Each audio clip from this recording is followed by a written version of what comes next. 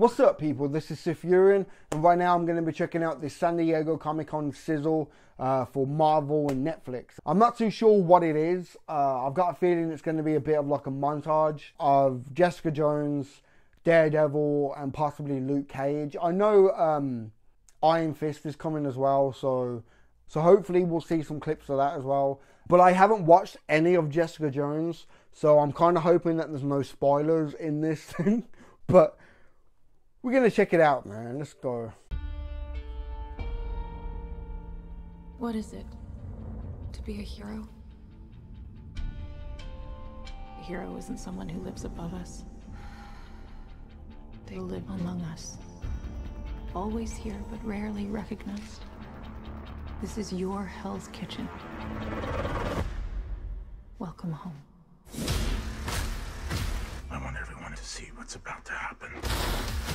Badass Kingpin, man.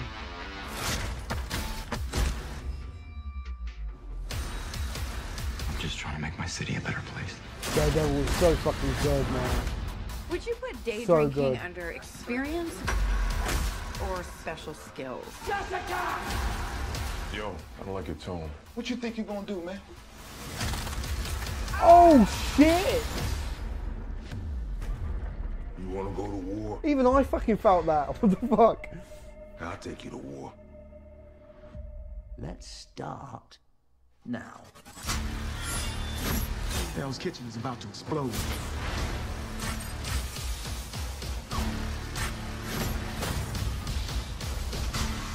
Looks fucking good, man. This is going to be more fun than I thought. Word's getting around about other people you've helped. I want to believe in what you're doing. But if you want justice, you have to get it yourself. You're absolutely right.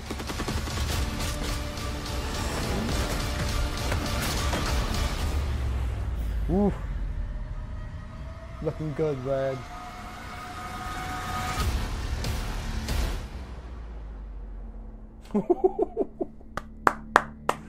oh shit. One round in the chamber. Oh, Punisher. Bang. Oh my god, man. Netflix. Netflix knows how to fucking do their shit. Good god. Like, I haven't watched anything of Jessica Jones, like maybe the odd trailer here and there, but that's it.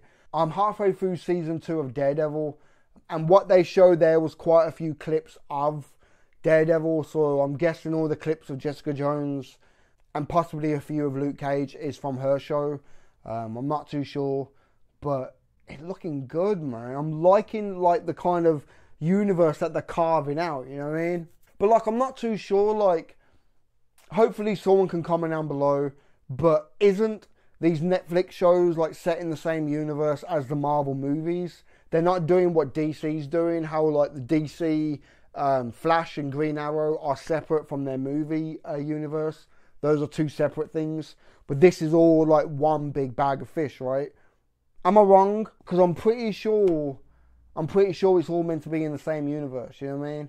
Same things with Agents of Shield and everything. It's all meant to be one massive universe.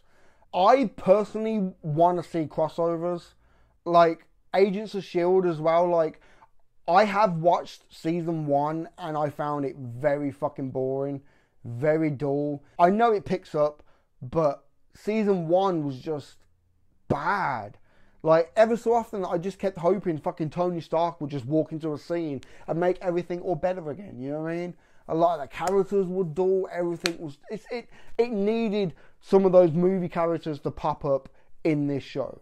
You know what I mean? And and I did kind of hope that we would see some of the Agents of Shield characters pop up in fucking Captain America Civil War, you know what I mean? But I could be wrong, but I'm pretty sure a friend of mine told me that even some of the cast members of Agents of S.H.I.E.L.D. Has brought it up about how like they need to have that bleed over effect between the movies and the TV show because it's becoming too separate. But it would be pretty cool to see like fucking Tony Stark pop up in in the fucking a Luke Cage fucking episode or something, you know what I mean? Because if it's all one universe, they all should be kind of popping up and guest appearances here and there. Like, yeah, man. really fucking cool. Alright, so give this video a thumb up if you enjoyed it. Comment down below, let me know what you think. And subscribe if you haven't already, man. I've been Sith. I'll catch you in the next one, man.